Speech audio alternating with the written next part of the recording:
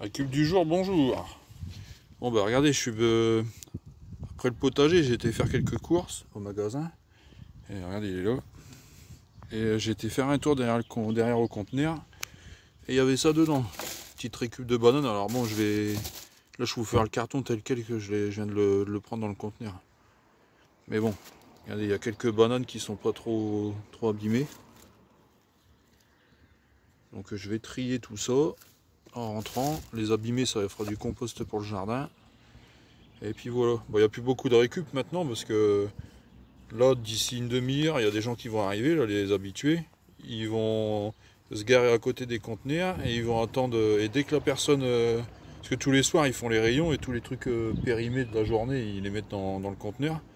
Vers 19h euh, à peu près, bah, dès que la personne du magasin sort pour mettre ça au conteneur, il y a tout, il court vers les poubelles et c'est au premier qui va attraper le sac. Vous verrez ce commencer maintenant.